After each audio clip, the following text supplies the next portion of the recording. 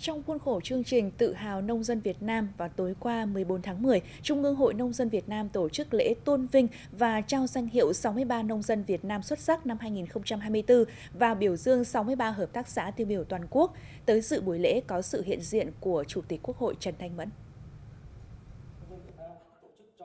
Trong suốt 12 năm qua, chương trình Tự hào nông dân Việt Nam đã tạo được sự lan tỏa, trở thành một sự kiện được đông đảo cán bộ, nhân dân, nhất là hội viên, nông dân cả nước mong đợi, hưởng ứng, đồng tình và ủng hộ. Chương trình cũng nhận được sự quan tâm, đánh giá cao của lãnh đạo Đảng, Nhà nước, các bộ ban ngành, đoàn thể trung ương, các cấp ủy, chính quyền địa phương. Năm thứ 12, chương trình tiếp tục tôn vinh 63 nông dân Việt Nam xuất sắc và biểu dương 63 hợp tác xã tiêu biểu toàn quốc. Họ là những người nông dân không chỉ xuất sắc trên mặt trận sản xuất nông nghiệp mà còn có tinh thần đổi mới, sáng tạo, dám nghĩ, dám làm và truyền cảm hứng tích cực trong công cuộc xây dựng nông thôn mới, phát triển nền kinh tế nông nghiệp nước nhà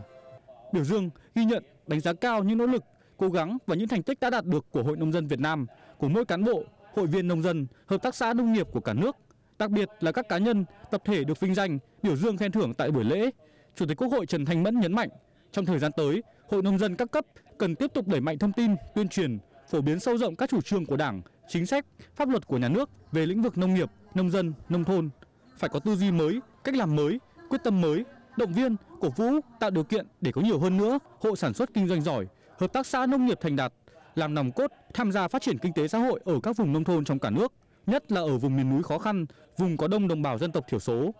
Hội nông dân các cấp cần chú trọng hướng dẫn hội viên, nông dân ứng dụng công nghệ số, xây dựng các mô hình sản xuất nông nghiệp sinh thái, nông nghiệp xanh, nông nghiệp hữu cơ, tuần hoàn thông minh, nông nghiệp kết hợp công nghiệp, nông nghiệp kết hợp dịch vụ, tạo ra nhiều sản phẩm nông nghiệp an toàn, chất lượng cao để đủ sức cạnh tranh trên thị trường trong nước và thế giới, xây dựng, phát triển và giữ gìn thương hiệu sản phẩm, thị trường tiêu thụ.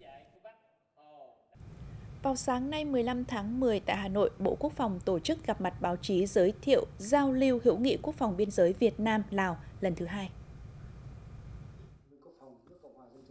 Được tổ chức từ ngày 22 đến 23 tháng 10 tới đây tại tỉnh Sơn La, Việt Nam và tỉnh Hủa Phan, Lào. Giao lưu hữu nghị quốc phòng biên giới Việt Nam-Lào lần thứ hai là một trong những sự kiện đối ngoại quốc phòng trọng điểm của Quân đội Nhân dân Việt Nam trong năm 2024, có ý nghĩa trên nhiều phương diện. Đại tá Tống Văn Thanh, Phó Cục trưởng Cục Tuyên huấn khẳng định, giao lưu là hoạt động góp phần thúc đẩy, tăng cường mối quan hệ đoàn kết hữu nghị đặc biệt Việt Nam-Lào, Lào-Việt Nam, đóng góp vào việc giữ gìn môi trường hòa bình, ổn định, phát triển ở khu vực và trên thế giới thiết thực kỷ niệm 80 năm ngày thành lập Quân đội Nhân dân Việt Nam, 35 năm ngày Hội Quốc phòng toàn dân. Giao lưu còn góp phần tăng cường hơn nữa sự tin cậy chính trị, xây dựng và củng cố tình cảm hữu nghị, tình đoàn kết đặc biệt và thúc đẩy hợp tác thực chất hơn nữa giữa lực lượng bảo vệ biên giới hai nước, chính quyền địa phương và nhân dân khu vực biên giới, qua đó xây dựng đường biên giới Việt Nam Lào thực sự hòa bình, hữu nghị, ổn định, hợp tác và phát triển.